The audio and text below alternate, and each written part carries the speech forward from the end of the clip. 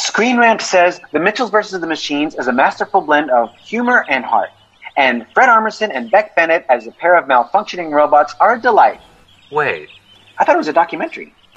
Are we fictional or real or fictional, real, Or fictional, real, real? F- fictional, fictional, real, Or- real, fic- fictional, real, Fictional. uh, fictional, real, fictional, real, fictional.